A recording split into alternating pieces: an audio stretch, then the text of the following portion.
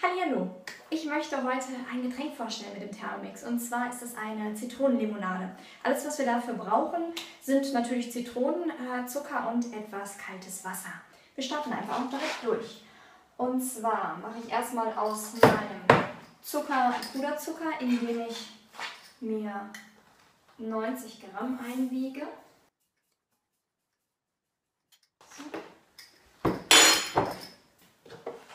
Den Thermomix verschließe. So.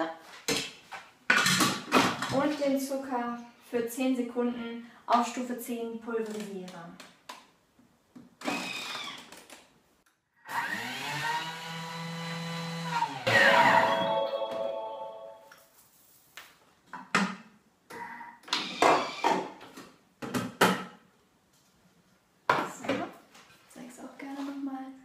Habe jetzt hier meinen Puderzucker, mit dem ich arbeite. Packe mir zwei Zitronen ähm, rein, die habe ich einfach halbiert. Ich habe Bio-Zitronen, von daher kann ich das mit Schale machen. Ähm, wer keine Bio-Zitronen hat, macht es einfach ohne Schale. Packe mir die Zitronen dazu und 500 Milliliter Wasser.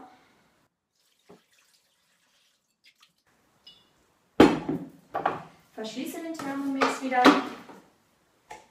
und wähle diesmal die Turbofunktion aus. Die befindet sich da, wo man auch die Teigknetstufe findet. Ich sage Turbo für zwei Sekunden.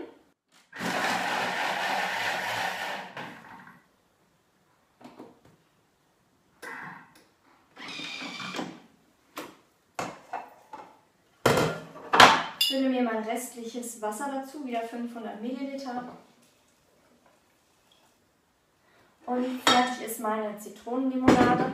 Wer das Ganze nicht mit Zucker machen möchte, kann das natürlich auch mit Süßstoff machen oder mit Stevia entsprechend. Ich setze jetzt hier mein Garkörbchen ein und kann das dann wunderbar zum Ausgießen benutzen.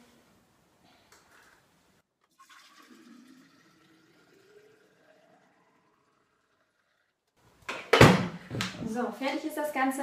Im Winter kann man das natürlich auch super als ähm, heiße Zitrone sich ähm, äh, ja, dann erhitzen oder dementsprechend im Sommer äh, als schöne kühle Erfrischung einfach mit ein bisschen Crush-Eis, was ich im Thermomix machen kann, ähm, ja, dann als Erfrischung genießen.